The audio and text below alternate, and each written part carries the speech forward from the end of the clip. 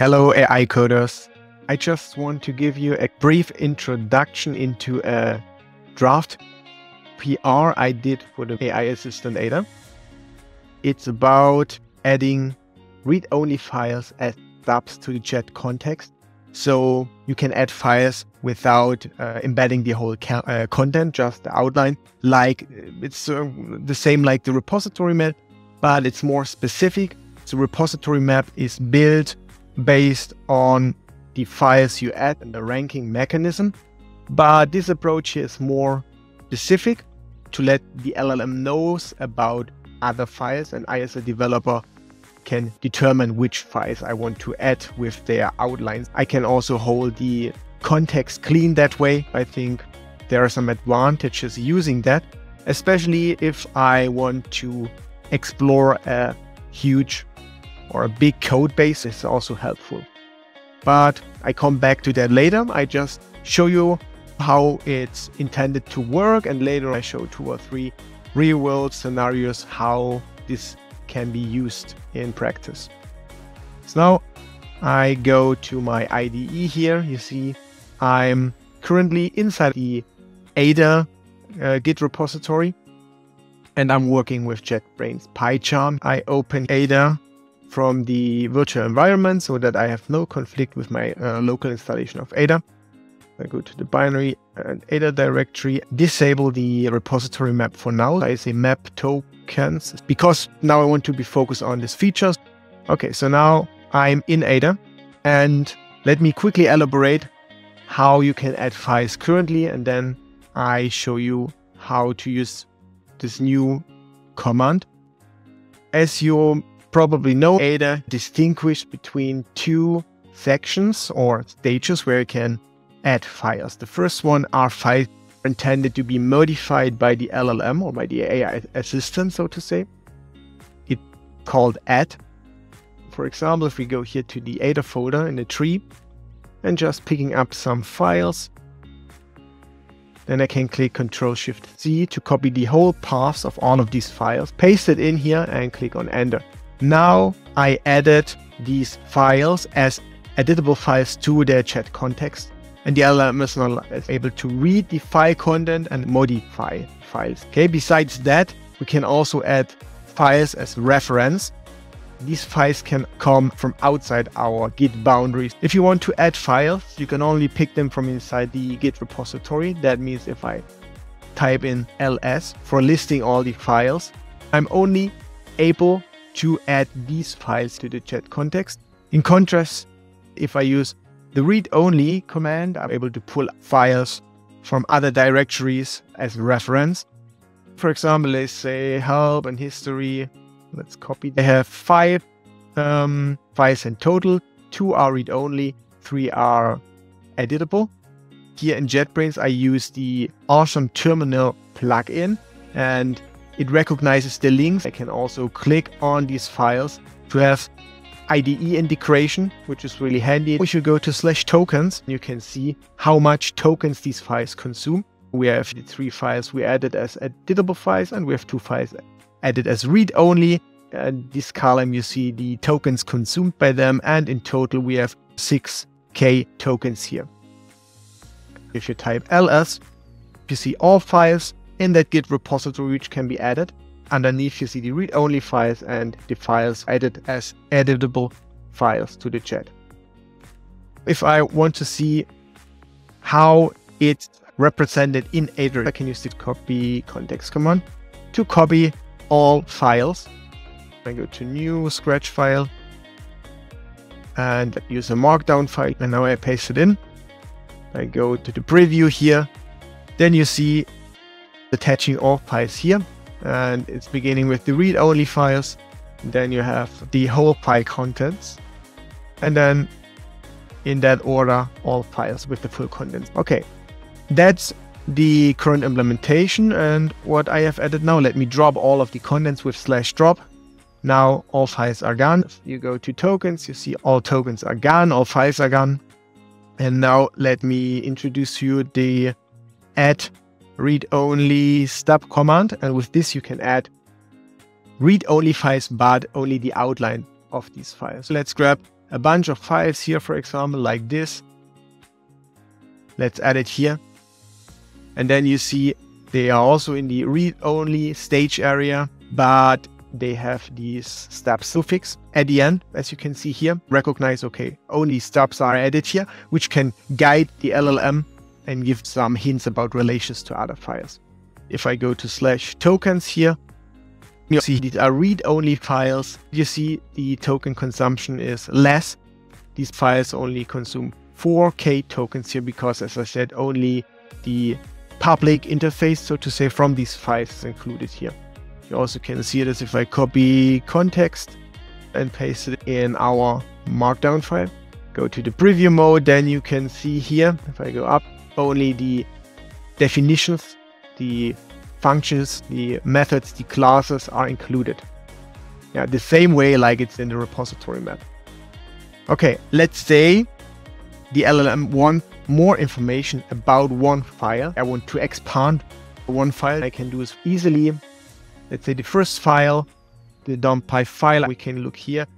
At the moment we have 38 tokens. Now I can do this with the read-only uh, command, dump py, read only. And now you see we have this as read only file, not as stubby anymore.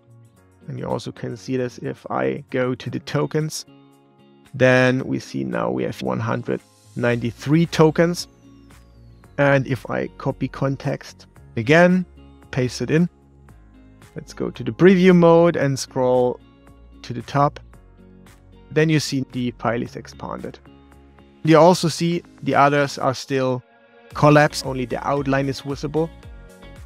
If you scroll down, you see something like this. This is happening because the markdown gets a little bit confused because the markdown itself use fences and sometimes it's not able to figure it out exactly how to show it. That's a common problem. If you look here, you see the stuff is added like this. Okay, this is how it works. Now I want to show you two or three real world cases where this is useful, especially for um, source code exploration of big code bases. The first thing I want to show you is the following. I was developing that feature and facing the following problem. I added this read-only stub command here, but the auto-completion was not working. Normally, if you use a command like read only or add and I paste some letters after it, it gives me some kind of auto completion in the CLI, which is really handy. As you see here, I wrote the code to show this to you. If I go and use read only stub here and click something, the auto completion is not working. The problem was I have no idea about Python implementing this auto completion.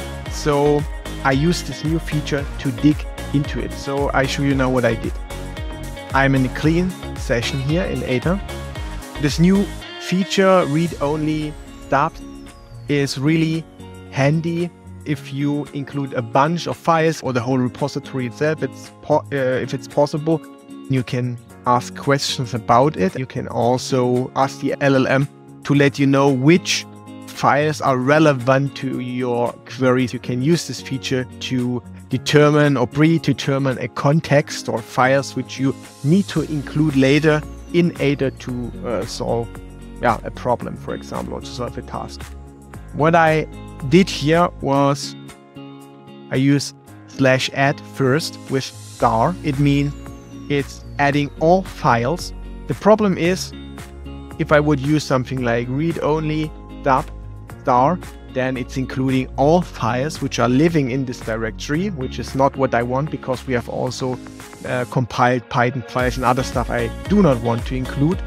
So it's better to use add because add is looking at the git directory, at the files which living in git and only adds them to the chat. So it's easier to start with. Yeah, now it's adding all of these files to the chat, a bunch of files as you can see here.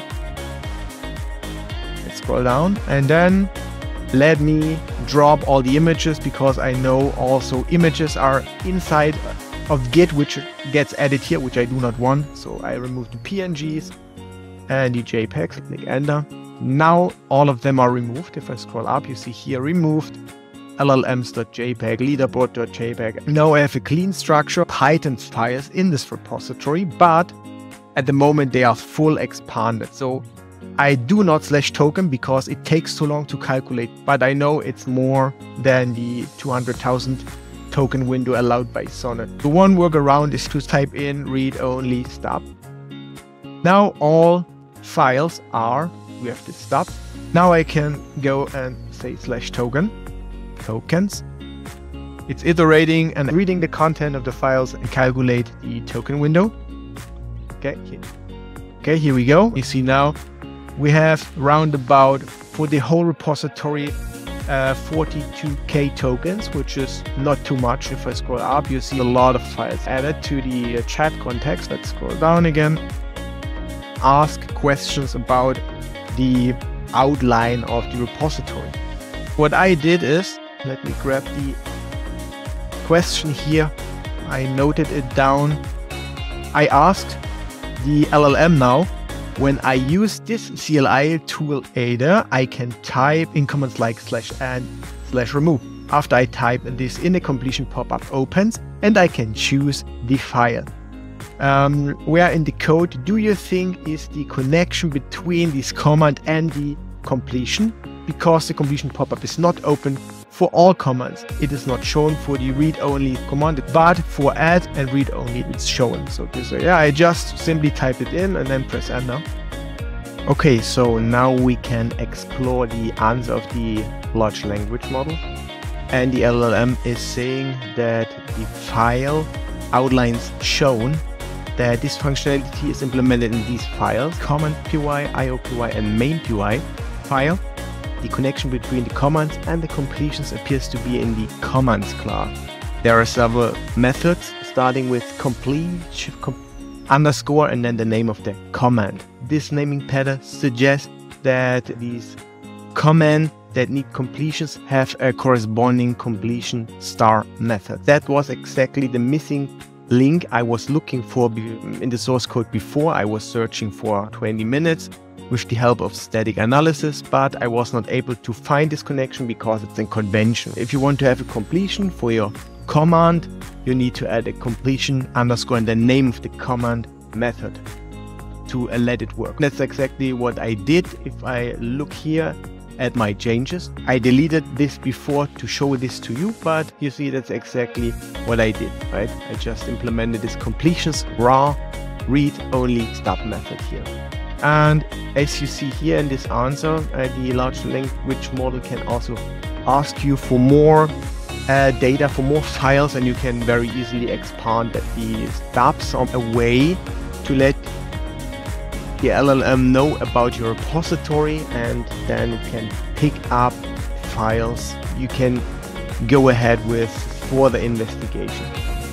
Another thing what we can do here Let's ask another question. We can, for example, ask which files are in interest for me if I want to implement a new coder class in Aider. Let's fire this question. Okay, the answer is streaming in. If we want to implement a new coder class, yeah, we have, for example, the base coder, the base prompts. We have also an example implementation here, the whole coder, edit block coder, and so on.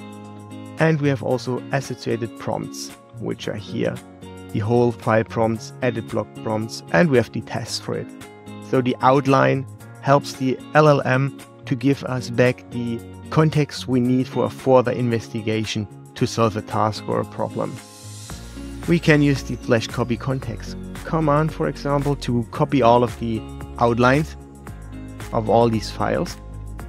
This takes a little while to copy the content into memory, into the clipboard.